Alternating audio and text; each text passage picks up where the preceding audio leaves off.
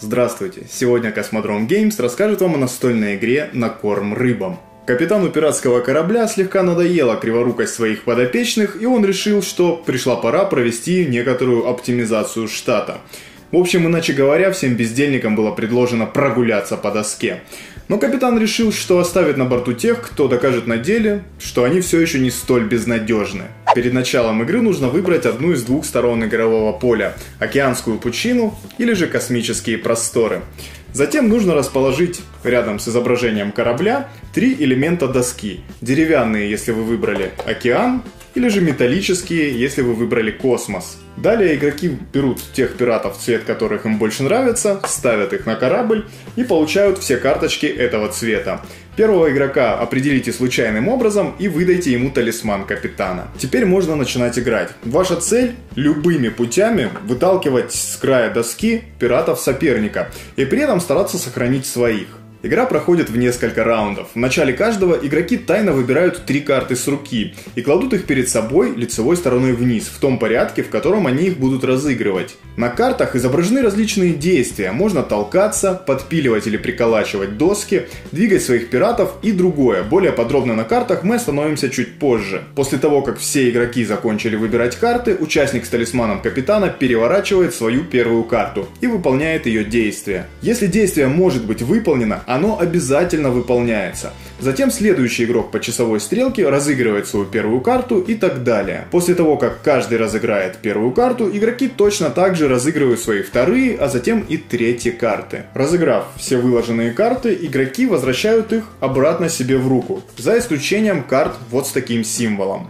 Эти карты нельзя разыгрывать два раунда подряд, поэтому они остаются лежать перед игроком лицевой стороной вверх, до конца следующего раунда. Именно тогда они и вернутся на руки своих владельцев. И в завершении раунда игрок с талисманом капитана передает его следующему участнику против часовой стрелки, то есть своему соседу справа. Он начнет следующий раунд. Получается, что тот, кто ходил последним в текущем раунде, будет ходить первым в следующем. Те, у кого не осталось живых пиратов, выходят из игры. Игрок, потерявший последнего пирата, больше не разыгрывает карты в текущем раунде и не участвует в последующих. Некоторые карты, действия которых подразумевает соседа слева или справа, применяются на следующего в порядке хода игрока с живыми пиратами.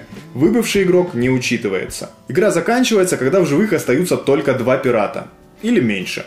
Или когда в живых остаются пираты только одного цвета. В обоих из этих случаев оставшиеся игроки продолжают разыгрывать свои закрытые карты. Последний раунд доигрывается до конца. Выжившие после последнего раунда участники получают право вернуться в команду капитана и объявляются победителями. В игре побеждает кто-то один, если к концу последнего раунда в живых остаются только его пираты от 1 до 3.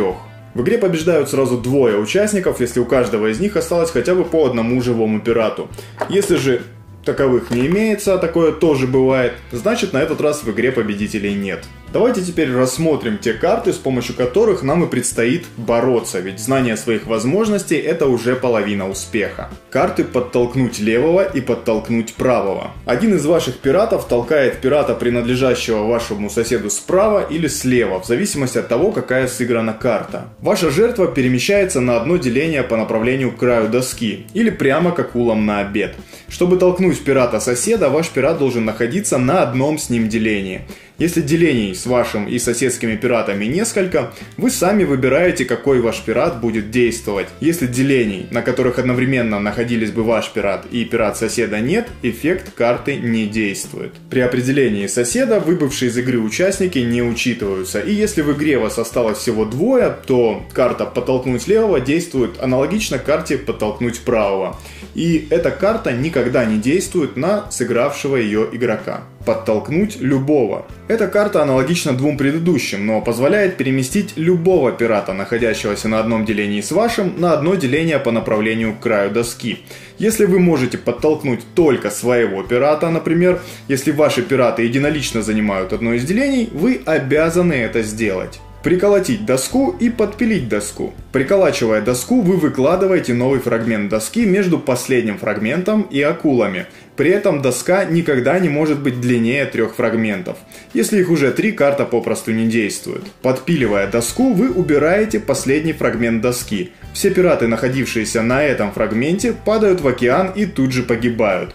Полностью спилить доску нельзя, поэтому карта не действует, если на столе остался лишь один фрагмент. Подтащить к морю и подтянуть к кораблю. Один из ваших пиратов либо подтаскивает другого пирата на одно деление по направлению к акулам, или подтягивает его на одно деление по направлению к кораблю. Две эти карты не действуют, если другого пирата нет. Иными словами, если все ваши пираты стоят поодиночке. Решить по ходу.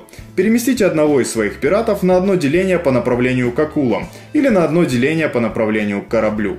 Если все ваши пираты находятся на корабле, кто-то из них обязан переместиться на доску. Не хочу к акулам. Переместите одного из своих пиратов на одно или два деления по направлению к кораблю. В отличие от карты «Решить по ходу», эта карта не действует, если все ваши пираты находятся на корабле. Поддать жару. Один из ваших пиратов перемещается на одно деление по направлению к акулам, а затем подталкивает любого другого пирата с этого нового деления на одно деление в том же направлении. Если на новом делении нет других пиратов, ваш пират все равно делает перемещение, но никого не толкает. Если на новом делении находятся только ваши пираты, вы толкаете одного из них. Также этим действием вы можете случайно спрыгнуть с доски. Я уже говорил, что пираты не блещут умом. Обратите внимание на значки внизу карты.